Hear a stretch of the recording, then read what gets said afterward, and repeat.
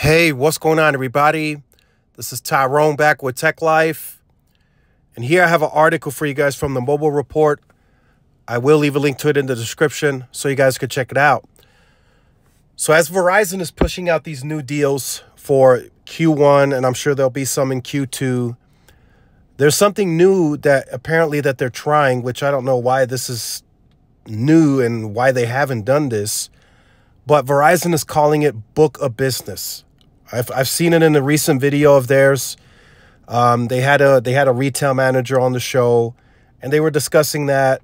That's what they're now doing, book a business. So let me let me give you guys a backstory. So back in 2013, when I was a when I was a store manager at Radio Shack, selling all the wireless carriers except T-Mobile at the time, that was calling customers to book appointments was just a natural progression when it was slow. When you saw foot traffic was down, you didn't ring up the same amount of tickets, your your metrics were low, you started putting in the system. We had a system where we could put the phone numbers of customers and then we could see if they're eligible for upgrades or or or whatever. So when we would call them, that's how you were able to say, "Hey, look, we have great deals right now. Can we book an appointment?"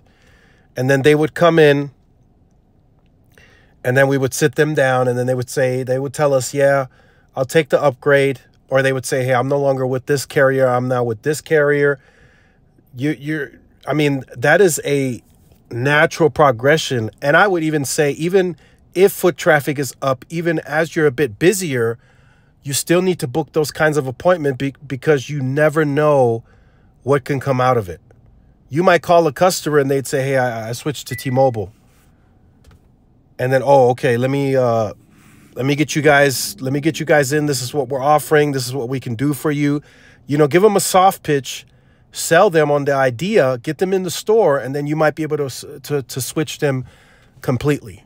You never know what that customer's got going on. They might be looking for a bit of a cheaper maybe they like the mix and match you offer maybe maybe they want a better performing product maybe they want fwa they couldn't get it with t-mobile you never know what the situation might be so you should always do these types of calls and book these types of appointments, no matter the time, in my opinion.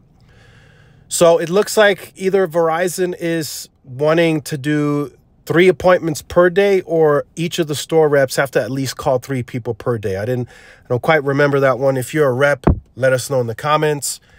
Um, but there's great deals. There's great deals right now at Verizon. As you can see, Verizon has a free iPhone 15 for a very limited time.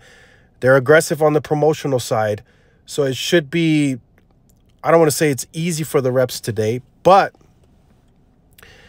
it should be a lot easier to, to, to get over that hump, right? The customer could be annoyed or whatever. Hey, why are you calling my phone? You know, because, you know, there's, there's scammers and, and all that stuff out there. So you could just ease into the conversation. Hey, I'm with Verizon. This is what we're offering. You know, can we get you to, to commit to an appointment? And you never know what the outcome could be. Like I said, that, that customer could no longer be with Verizon. It could be with with uh, AT&T, T-Mobile now, and MVNO. You you just never know. So you want to constantly be calling people, in my opinion, especially on the on the sales rep side. If you're a go getter, if you're a hustler, and you want a bigger paycheck, I mean, this is the way to do it you know, get three more people in the door. You already had a decent month of, uh, of converting people that just from foot traffic, you know, call three to six more people. Maybe you can get two of them in the store and get them converted, and boom, you got a bigger paycheck. So, very interesting that this is coming up in conversation at Verizon. I, I feel like they should have been doing this. Um, I'm, I'm actually hoping, hoping that this isn't something new, that they have been doing this. And if this is new, then my question would be to the team why haven't they? been engaged in these types of calls and conversations. So let me know your thoughts about this. Let me know if you've received one of these calls from a Verizon rep. Just uh, just want to see. So put that in the comments if you have.